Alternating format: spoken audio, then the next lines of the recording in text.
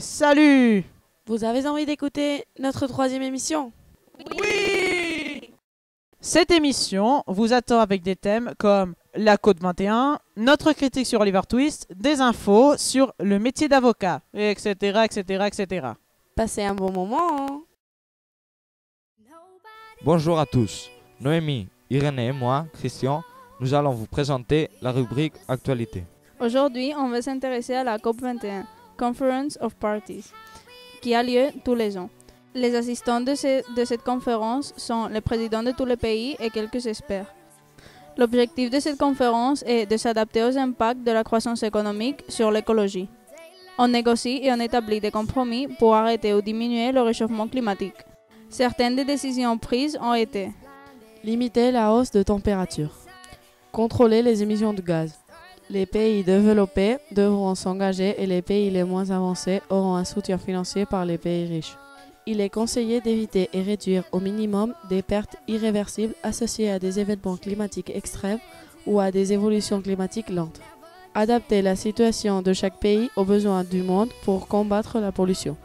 Cela réduit les risques et les effets du changement climatique. Mais cette COP a certains inconvénients.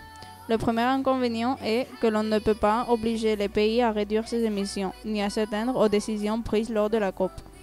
Le deuxième inconvénient est que à la COP, on ne parle pas de stocker le CO2 déjà créé pour limiter le réchauffement. C'est la fin de notre rubrique Actualité. Et maintenant, passons à l'interview du mois.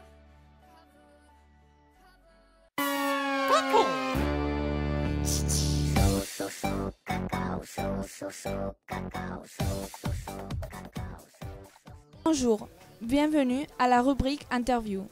Pour cette émission, on a interrogé José Manuel López Molto, le PDG de l'entreprise des chocolats Valor. L'entreprise Valor débute en 1881 avec Don Valeriano López Lloret, qui commence la production de chocolat. Ensuite, c'est son fils Don Vicente López Soler qui prend en charge l'entreprise familiale. Entre 1916 et 1930, la vente de chocolat s'étend à d'autres villages et provinces. Ce n'est qu'en 1964 que la fabrique de Villajoyosa est construite et commence le lancement de chocolats plus innovants. Puis, l'entreprise se transforme en 1973 en société anonyme. Enfin, entre 1976 et 1995, Valor devient internationale. Elle vend ses produits à des pays de l'Amérique du Sud et aussi de l'Asie comme le Japon.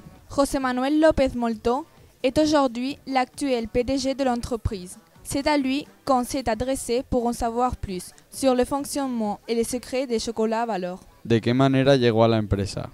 porque mi padre era uno de los dueños y yo entré a trabajar en la empresa. No tuve que hacer ninguna oposición ni nada de todo esto. ¿Cuántos trabajadores tiene la empresa? Ahora estamos en 200 fijos ¿eh? y en campaña estamos en 270 y, y a veces 300. ¿Y los trabajadores cobran en función de su producción o tienen un salario fijo? Tienen un salario fijo. ¿Y qué medidas ha tomado para contrarrestar la crisis económica? Pues, hombre, la verdad es que para nosotros la crisis no ha sido importante. O sea, nuestra crisis ha sido el encarecimiento de las materias primas. ¿Eh? Pero la crisis en alimentación no, no ha sido importante. Eh, ¿A qué escala se distribuyen sus productos? Eh, nacional, internacional. No, nacional e internacional. O sea, exportamos. Nuestro mercado importante es el mercado nacional. ¿Y la empresa contrata a otras empresas para conseguir sus materias primas? No, ¿Y cuál es el volumen de ventas de la empresa? Pues ahora estamos en 103 millones de euros este, ¿Y en qué época del año se venden más sus productos? en Navidad. En Navidad. Y dentro del mercado mundial, eh, ¿su empresa compite con las principales chocolaterías eh, europeas?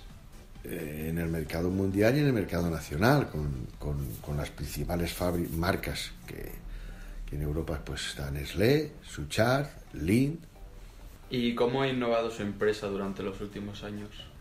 Más que innovar, nosotros lo que hemos mantenido es la diferenciación en hacer un producto mm, con mucha almendra y con una alta calidad y una alta selección de cacaos. ¿eh? Es nuestra, digamos, nuestra arma y nuestra diferenciación. es lo que más cuidamos. ¿eh? Que el, el cacao no sea, esté bien limpio, no lleve cascarilla ¿eh? y que sea agradable al paladar. Y sobre todo es que si lleva almendra, pues si decimos que lleva almendra, lleva almendra. ¿eh? Y cuando es puro, pues también el puro. ¿Y ha notado una bajada de inversores en bolsa tras sus pasados suce- sucesos políticos? Entonces, Somos una empresa familiar, que los accionistas somos todo familia. Y no cotizamos en bolsa. Y Y la última es cuál es su producto favorito. nuestro producto líder es el puro almendra. Muchas gracias. De nada, hombre. Après vous avoir fait connaître un peu plus cette entreprise locale, nous vous souhaitons une douce semaine. Et nous passons maintenant le relais à Yalil, Julio et Amina, qui vont nous présenter un nouveau métier.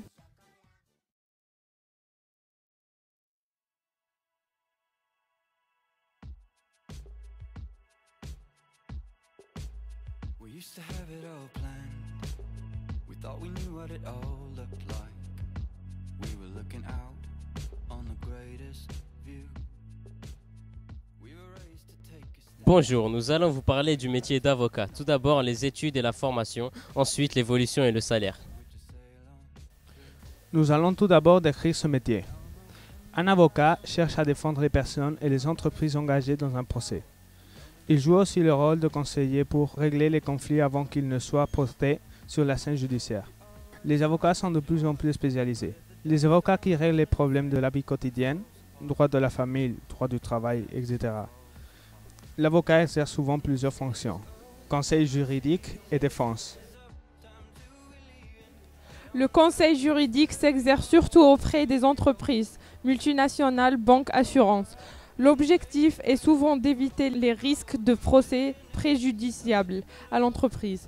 En cas de litige, l'avocat assure le rôle de médiateur, cherchant à conseiller les parties adverses. Lorsqu'il s'agit de défense, l'avocat rencontre plusieurs fois son client avant le procès, constitue son dossier et rédige les pièces nécessaires à la défense. Lors du procès, il soutient la cause de son client par ses interventions et une plaidoirie finale. Pour exercer, l'avocat doit être inscrit à un barreau. Il a une grande capacité de travail, un esprit de synthèse et ses qualités oratoires sont des atouts indispensables pour exercer ce métier. L'avocat est soumis aux règles de la déontologie de sa profession. Études et formations pour devenir avocat. Les futurs avocats se préparent à leur métier dans l'un des centres régionaux de formation professionnelle pour avocats CRFPA. Les CRFPA sont accessibles sur examen très sélectif, 35% d'admis, aux étudiants en droit de niveau Master 1 ou diplôme de Sciences Pro. Pas plus de trois présentations, mais la plupart des candidats sont titulaires d'un Master 2. L'examen est organisé par plusieurs universités il peut se préparer au sein des instituts d'études judiciaires IEJ. La formation dure 18 mois et s'organise selon trois modules. Une formation de 6 mois en CRFPA, un module de 6 à 8 mois consacré à un projet pédagogique spécialisé et un stage de 6 mois dans un cabinet d'avocat à l'issue duquel on passe le CAPA, certificat d'aptitude à la profession d'avocat. L'avocat prête serment et s'inscrit au bureau de son choix. À la sortie de leur stage, trois options s'offrent aux jeunes diplômés. Se faire recruter comme salarié, devenir collaborateur d'un cabinet ou ouvrir d'emblée son propre cabinet. De nombreux avocats se spécialisent dans un domaine précis. En début de carrière, un avocat gagne entre 1800 et 2700 euros bruts par mois. Ensuite, les rémunérations varient en fonction de la situation. Le revenu moyen mensuel dans la profession serait aux alentours de 5000 euros, mais on compte évidemment de très fortes disparités. On conclut qu'un avocat est un métier de difficile accès, car il demande un bac plus 6. Merci de votre écoute et maintenant, on passe à la rubrique sport. Bonjour à toutes et à tous, c'est Sheila des secondes B. Je suis accompagnée de mes deux camarades, Malek et Hugo. Aujourd'hui, dans la rubrique sportive, nous allons vous présenter deux sujets assez intéressants. Nous allons tout d'abord vous parler de la suspension de Michel Platini, puis nous vous présenterons l'Euro 2016. Michel Platini, l'ancienne vedette de la Juventus, est menacé de radiation à vie par la justice interne de la FIFA. Il a reçu une mauvaise nouvelle. Le tribunal arbitral a maintenu sa suspension provisoire jusqu'au 5 janvier 2016 dans le cadre de l'affaire du versement controversé d'un million huit cent mille euros. Comme l'a dit ma camarade, Michel Platini peut craindre le pire venant de la justice. L'ancien meneur des Bleus reste donc à l'écart de l'élection présidentielle à la FIFA, prévue pour le 26 février à Zurich, puisque sa candidature est gelée le temps de sa suspension. La justice interne de la FIFA a requis sa radiation à vie à cause de ce paiement controversé reçu en 2011 de la part de Joseph Blatter pour un travail de conseiller achevé en 2002. En conséquence de ces actes, Michel Platini a dû retirer sa, sa candidature au poste de président de la FIFA. L'ancien président de U- de l'UFA a fait appel lundi 11 janvier de sa suspension de 8 ans de toute activité liée au football. Après avoir accusé la réception des motivations de la sanction prise par la justice interne de la Fédération internationale de football. Reste à savoir ce que la justice décidera. Passons maintenant au championnat d'Europe UEFA de football 2016. L'Euro 2016, qui est la 15e édition du championnat d'Europe de football, compétition organisée par l'Union des associations européennes de football et rassemblant les meilleures équipes européennes. Elle se déroulera en France du 10 juin au 10 juillet 2016. Les matchs d'ouverture et de clôture du championnat se joueront au Stade de France. Après le tirage au sort, nous avons obtenu les groupes suivants. Groupe A, France, Roumanie, Albanie, Suisse. Groupe B, Angleterre, Russie, Pays de Galles, Slovaquie. Groupe C, Allemagne, Ukraine, Pologne, Irlande du Nord. Groupe D, Espagne, République tchèque, Turquie, Croatie. Groupe E, Belgique, Italie, Irlande, Suède. Et groupe F, Portugal, Islande, Autriche et Hongrie. Nous vous laissons maintenant avec la rubrique littéraire.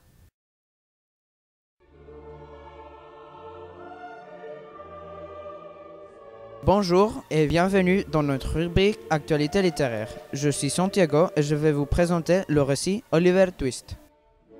Oliver Twist est un roman réaliste fictif écrit par le célèbre Charles Dickens. Dans ce récit, on raconte les péripéties d'un orphelin né dans la campagne anglaise qui arrive dans la capitale et se voit forcé à voler pour subsister.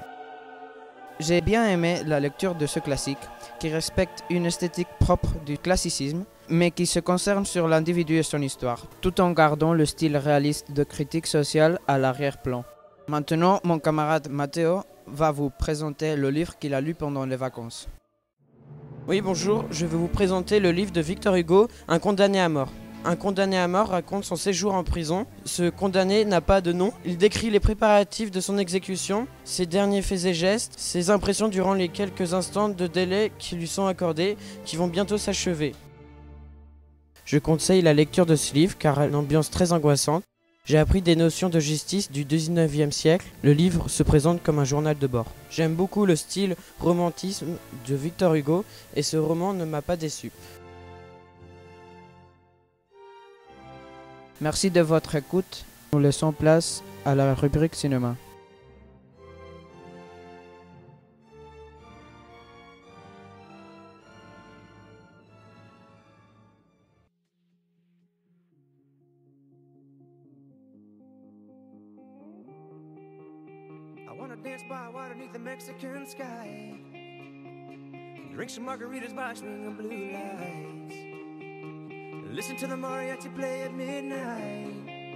Are you with me? Are you with me?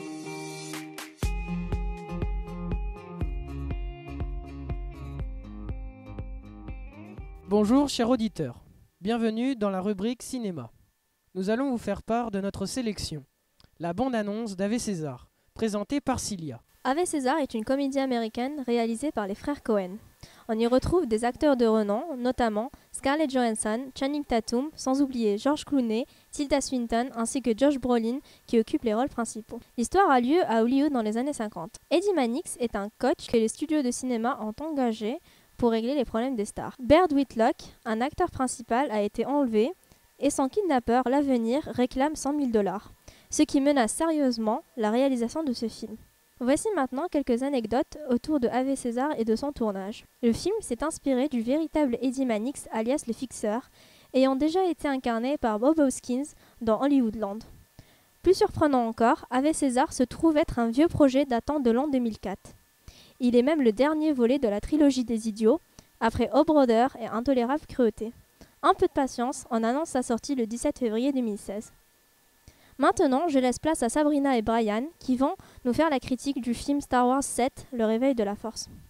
J'ai bien aimé les costumes, le découpage des scènes. J'ai bien aimé la course-poursuite du Faucon Millennium et le chasseur T. La musique était très captivante. Et toi, Sabrina, qu'en penses-tu? Moi, j'ai bien aimé que Carrie Fisher, qui joue le rôle de la princesse Leila, soit revenue, ainsi que Harrison Ford, qui joue le rôle d'Anne Solo, et que le Jedi soit une fille. Par contre, je trouve qu'il n'y avait pas de nouveauté. C'est-à-dire qu'il y a toujours une étoile noire qui détruit d'autres planètes, sauf que là, elle est posée sur le Soleil. Il y a toujours les rebelles et l'Empire. Et toi, Brian, qu'en penses-tu? Je suis d'accord avec toi. Il y a toujours les mêmes vaisseaux, X-Wings, le chasseur T. Il y a une chose qui me déplaît le plus, c'est que les années d'entraînement passées par Maître Yoda et Obi-Wan Kenobi sont bafouées par une jeune femme mignonne qui touche une épée laser et elle a le pouvoir de la force en elle. Elle sait s'en servir, elle sait manier l'épée parfaitement. C'est totalement absurde. Et en plus, l'effort y était décrit comme une vertu cardinale, car les apprentis Jedi apprenaient avant toute autre chose la discipline, qui était vantée. Et seuls ceux qui se montraient persévérants et constants dans l'effort parvenaient à la maîtrise de la force. Je trouve que les réalisateurs du film ne sont pas au meilleur de leur créativité. Merci de votre écoute. Et maintenant, laissons place à la rubrique musique.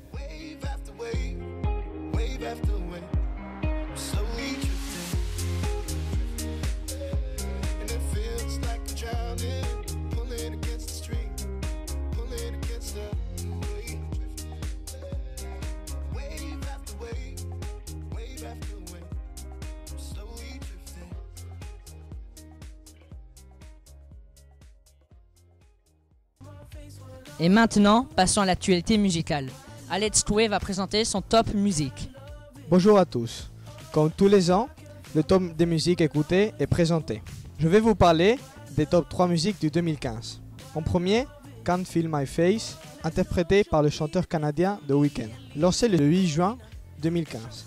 Cette musique parle des sentiments quand il voit son amour. 350 millions de vues sur YouTube. En deuxième position, Hotline Bling du rappeur canadien Drake, lancé le 31 juillet 2015, qui a reçu un grand succès commercial avec 340 millions de vues sur YouTube. Puis, en troisième position, Linon du groupe Major Lazer. En collaboration du français DJ Snake, la chanson contient les paroles de la danoise Mo. Cette chanson bat le record en streaming en France avec 2 millions d'écoutes. Elle a atteint plus d'un milliard d'écoutes sur YouTube, ce qui est impressionnant. Aussi, Adele a eu un grand succès. Bonjour. Pour ceux qui ne savent pas qui est Adele, c'est une chanteuse britannique née à Londres de 27 ans. Elle sort son premier album en 2008 et le deuxième en 2011 avec plus de 25 millions d'exemples. Mais c'est en 2015 qu'elle revient avec son nouvel album 25 qui était attendu avec impatience. L'album bat plusieurs records avec plus de 25 millions de copies écoulées et s'installe comme un des albums les plus vendus du monde. La chanson la plus connue de son album est Hello, qui a reçu et reçoit plusieurs louanges de part des critiques les plus spécialisés. Cette chanson est immédiatement classée dans plusieurs pays comme le numéro 1. Et maintenant, je reprends l'antenne pour vous présenter David Guetta. David Guetta est un chanteur qui n'a pas besoin d'être présenté. Évidemment, il est une star de renommée mondiale. Il vient d'annoncer sur sa page Facebook et sur la page officielle de l'UEFA qu'il sera celui qui composera l'hymne de l'Euro 2016 qui aura lieu en France. La chanson est intitulée This One's For You, accompagnée de la chanteuse allemande Steffi. Elle sortira vers début avril. Le DJ déclare qu'il veut que la musique officielle de l'UEFA soit spéciale et unique. La chanson veut faire passer un message d'union et qu'il l'avait écrit juste avant les attentats du 13 novembre et que maintenant la chanson prend un tout autre sens. David Guetta aura besoin de l'aide de 1 million de personnes, mais comment aider David Guetta? C'est simple, il a besoin d'une million de clips de vous en train de danser sur sa musique pour pouvoir apparaître dans le clip. Mais non seulement vous aurez la chance de passer dans le clip, mais aussi vous pourrez faire partie du tirage au sort pour pouvoir participer à son concert sous la Tour Eiffel. Euh, David Guetta déclare qu'il est un fan de football et qu'il est un des très grands admirateurs de Zidane et qu'il rêve d'une finale Espagne-France à Saint-Denis. Bonjour à tous et à toutes, nous sommes le groupe Science Insolite. Aujourd'hui, chers auditeurs, nous allons vous parler d'une chose qui vont rendre fou de joie certains, la peau artificielle. Des chercheurs de l'université Stanford en Californie sont parvenus à mettre au point les prémices d'un dispositif de peau artificielle capable de reproduire la sensation du toucher. C'est l'objectif que se sont lancés les chercheurs. Après des années de travail acharné, ils connaissent déjà une bonne avancée dans leur projet. Sa technologie, encore aux premiers abords de développement, présente des résultats tout à fait encourageants. Le projet a fait l'objet d'une publication parue dans la revue scientifique américaine Science. L'étude décrit le fonctionnement du prototype composé de deux parties. La première couche simule les mécanorécepteurs de la peau via une série de capteurs de pression.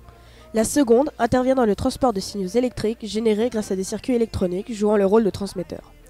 En équipant des prothèses avec cette technologie, il est possible en principe de reproduire la sensibilité de la peau à différents degrés de force mécanique. La personne qui en est équipée pourra percevoir la différence entre l'effleurement et une franche poignée de main par exemple. Pour ce faire, la pression statique exercée sur la prothèse est détectée par des capteurs fabriqués à partir de nanotubes de carbone. Ces informations sensorielles sont ensuite enregistrées et transmises sous la forme de signaux électriques aux neurones du cerveau via des circuits électroniques souples et organiques. Plus la pression est grande et plus la fréquence des signaux est élevée. Des résultats prometteurs. Les résultats de cette expérience sont tout à fait prometteurs et incitent les scientifiques à poursuivre leurs travaux. À terme, la technologie pourrait permettre d'améliorer le contrôle de la prothèse et permettre aux personnes utilisant un de ces dispositifs de retrouver un certain sens du toucher. En conclusion, les personnes infirmes pourront en partie recouvrir leurs membres et retrouver un sens longtemps oublié le toucher. Tels les appareils auditifs qui ont permis aux sourds de retrouver l'ouïe, la peau artificielle offre aujourd'hui de grandes perspectives dans le domaine de la chirurgie réparatrice. Et n'oubliez pas que vous pouvez retrouver les émissions sur journaliconte.blogspot.com, le site en ligne, le journal en ligne du lycée. Nous espérons que vous avez profité de cette émission et que vous avez appris et découvert de nouvelles choses passionnantes. Nous avons hâte d'enregistrer la prochaine émission pour vous faire découvrir plus de choses intéressantes et encore plus. Nous nous donnons rendez-vous pour la prochaine émission. Merci de votre attention et n'oubliez pas d'écouter nos autres émissions.